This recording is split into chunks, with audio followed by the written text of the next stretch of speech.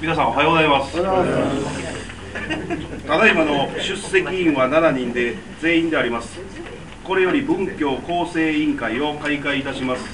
本日の審査協議事項はえー12月8日の本会議において本委員会に付託された議案第22号についてであります。えーそれではこれよりし審査に入ります。議案第22号公の施設指定管理者の指定についてを議題といたします。本案について当局より説明を求めます。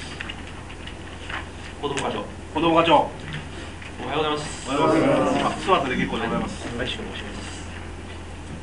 えーそれでは、えー議案第22号、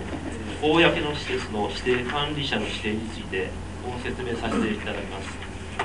まあ、橋本市内には今、こども園、公設民営のこども園4園ありますけれども、あの県電の運営をささせていただいています。そのうち、えー墨田こども園につきまして、え5年が経ちました。えー墨田こども園につきましては、えー旧の須田幼稚園、山内幼稚園、兵庫幼稚園、小井野幼稚園、墨田保育園の5園の統廃合により、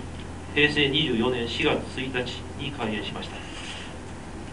えーこの平成29年3月31日にして管理期間の5年が終了します。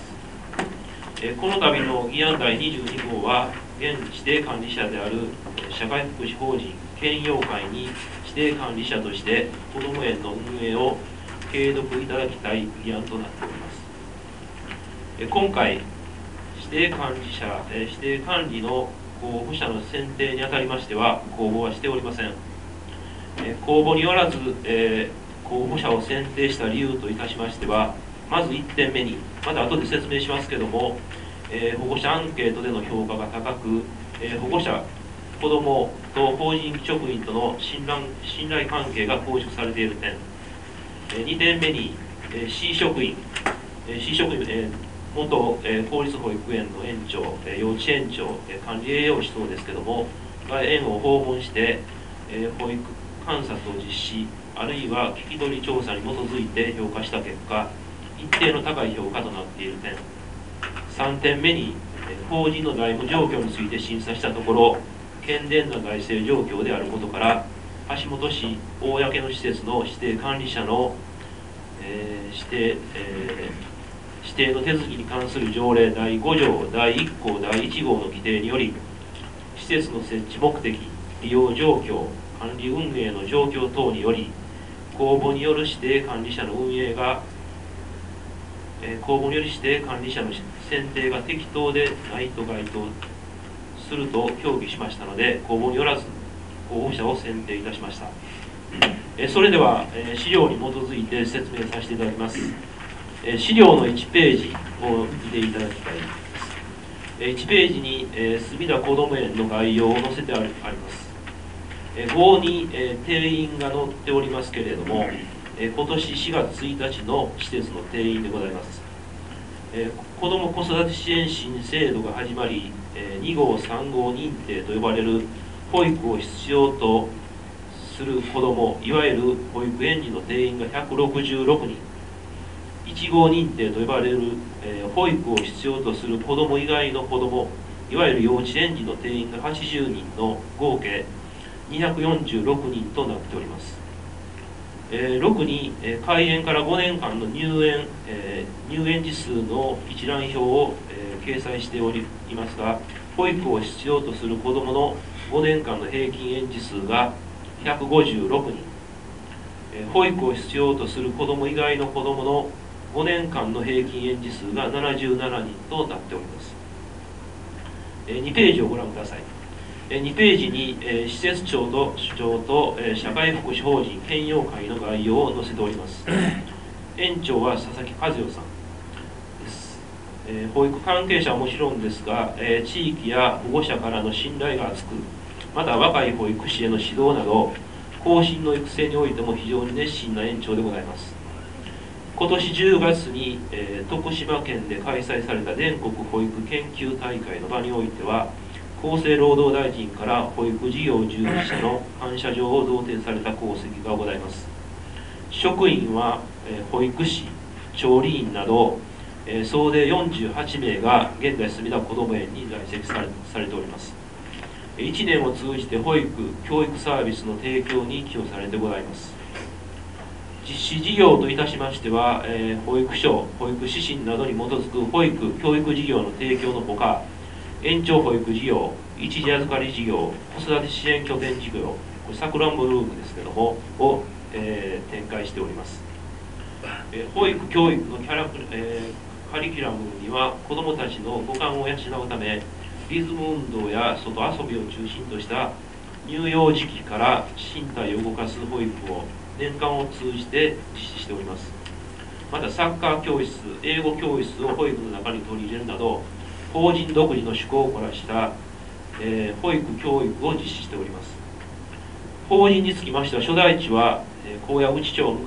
向島221番地の11設立年月日は平成、えー、16年9月の22日、えー、理事長は、えー、米坂陽子さん。現在運営している施設といたしましては墨田こども園のほかに昨年度開園いたしました大子こども園。えー、工藤山保育園の計3園の認可保育園を運営しております。前回の平成24年度に開始した時点より運営施設は1園増えているという状況となっております。参考までに2ページ右下に載せておりますのは和歌山県が発行している広報誌「県民の友」の先月11月号の表紙でございます。人権啓発プログラム「みんな大切」をえー、楽しむ隅田こども園の園児さんが県下全域に紹介されております、えー、3ページをご覧ください、えー、指定えー、指定管理者の評価結果となっております。この評価につきましては前回平成25年度ですけども高野内こども園の指定管理者の継続審議の際にえ本委員会で第三者を入れた外部評価についてのご意見を指摘いただいたことによりそれ以来外部評価の導入について、えー、子ども課で検討してまいりました。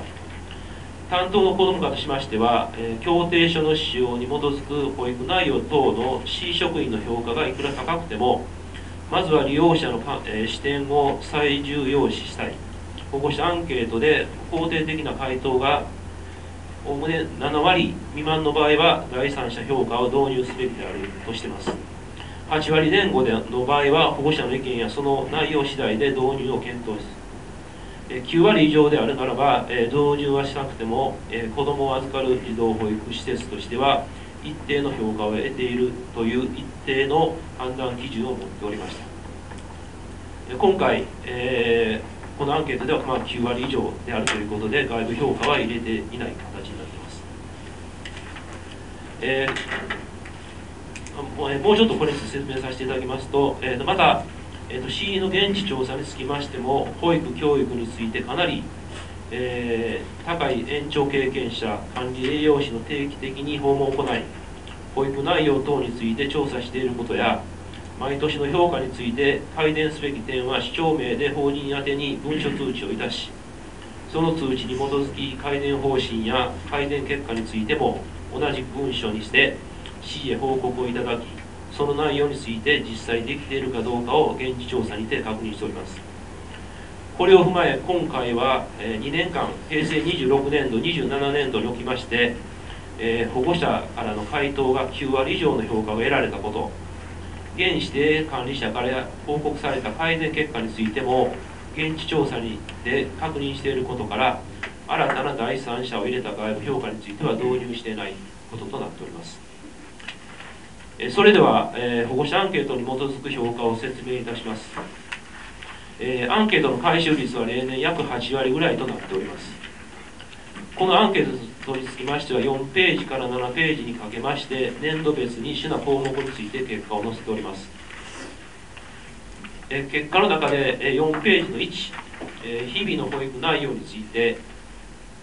問1お子さんは子ども園に行くのを楽しみにしていますか？問い2お子さんと子ども園職員の関係は良いですか？問い3懇談会参観各種行事を通じてお子さんの成長を感じますか？など当初から評価が高かった項目については遺伝評価が高い。開園当初はそれほど高評価でなかった5ページの2行事についての問い9園行事に保護者が参加しやすいような日程等の配慮がありますか？問い12お子さんの給食の食べ具合は必要に応じて連絡されていますか？そして7ページの5施設整備についての問い21子ども園の施設及び設備は子どもに配慮されていると感じますか？問い22園庭など周辺の環境は子どもに配慮されていると思いますか？につきましても回答者の9割以上の方が肯定的な回答となっており開園当初より改善されていることが伺えます。また8ページから10ページにかけましては平成27年度アンケートの各項目の詳細を添付してございます。各項目におきまして「はい」と少しの肯定的な回答をいただいたパーセンテージを先の4ページから7ページにかけて集計してございます。次に、平成27年度、え、新職員による現地調査及び評価項目に基づく評価でございます。結果は11ページから12ページに資料を載せておりますけれども平成27年度に市の職員が、えー、子ども園の管理運営に関する協定書の使用に基づき園訪問を行い教育観察等を実施いたしました。昨年度の訪問回数は通常の開園日の運動会などの催しを含め年間19回訪問しております。こうした訪問の結果運営状況について評価項目の子どもの発達援助子育て支援地域の住民や関係機関との連携運営管理大項目に4分類しております、え、子どもの発,、え、発達援助の基本健康管理と食事保育環境保育内容など中もう中項目が15えさらに保育計画を基本方針に基づき作成しているか。指導計計画の評価検討を定期的に行いその結果に基づき指導計画を見直しているか。一人一人の子どもの発達状況保育目標生活状況についての記録があるかなど小小項目が41、えー、これらをさらに細分化した178の項目について厳正に評価した結果、えー、ほとんどの評価項目でできている A という評価結果となっております。え最後に、えー、現指定管理者の財務状況の審査結果について13ページに載せております。え平成26年度、え27年度墨田こども園に関する社会福祉法人、え県用会の決算状況について大阪府が社会福祉法人の認可にあたり採用しております基準を参考にし審査しましたところ、え支払い能力設備投資の妥当性資本構成の安全性を示す指標におきまして全ての基準をクリアしております。当法人は健全な財財政運営を行っていると評価しております。14ページの下は現在指定管理者が公開しているホームページのトップページでございます。以上のように保護者アンケート市の保育観察による現地調査と評価内容財務状況の調査により社会福祉法人県用会が引き続き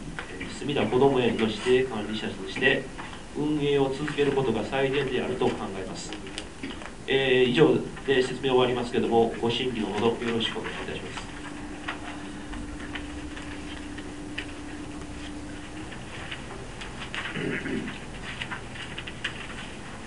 はい、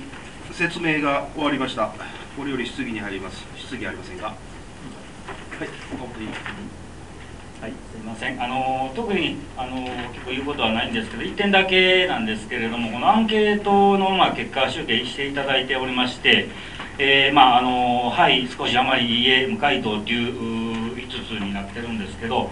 これのそのアンケートの内内容というかあのまあ、ほぼほぼ、まあ、はいの方が多いんですけれども、まあ、あのあまり家無回答という方のその中で、えー、そのアンケートの方式で、えー、こういうところが、まあ、あまりとか家とかっていうふうに感じてるっていうようなその記入の部分というのはあるんでしょうか？子ども課長。子ども課長。はいあのあります。あの特にあの私どももその家とかちょっと不満に思っているところについてはあの項目に書いていただいてそこのところについては、えー、こちらの方で見まして必要であれば A の方に指導を行いますはい、す。はい、すいません。あ、その辺ちょっと気になりまして、僕もあのその隅田こども園さんとか大こども園さんの福井さんにいろいろまあお話を聞かせてもらう機会もあって、まああの園の運営とかその先生の状況とかっていうことで、その悪い評価っていうのを全くほぼほぼほぼまあ聞かない、まああの素晴らしい運営をしていただいてるし、先生も明るいしっていうことで、あのいいような評価ばかりをどの方に聞いても。あのそういうような声聞こえてきますんで、まあ、あの少数の、まあ、意見であってなかなかその満足度100%っていうのは難しいのかなと思うんですけど、まあ、少数のそういう意見っていうのもやっぱりきっちりとこう聞いていただいて、まあ、今後の,、まあ、あの保育に生かしていただけたらいいのかなっていうことです。思いまして。で、まあ、あのそういうところでもあのきちっとそういう回答欄もあるっていうことですんでそのあの小さいその不満っていうところをまたあの拾い上げていただいて今後に生かしていただけたらと思います以上、まあ、特に言うことは他にありませんいいですかはい他にありませんか？はい他に はい、すいません。あのー、議案については特にもうご説明いただいたし、まあ、今までの実績も僕たちも、えーお話聞いてるんで、あの特に聞くことないです。ちょっと関連してちょっとお聞きしたいんですけど、担当会に。橋本市指定管理を行っているこの、えー、要異次元の施設は幼稚園型ですよね。そしたらこれ、加配、2号についての加配っていうのは、どうなってるのかな。これ国の基準で言うたら保育園型と加配が変わってくるのかな。先生の。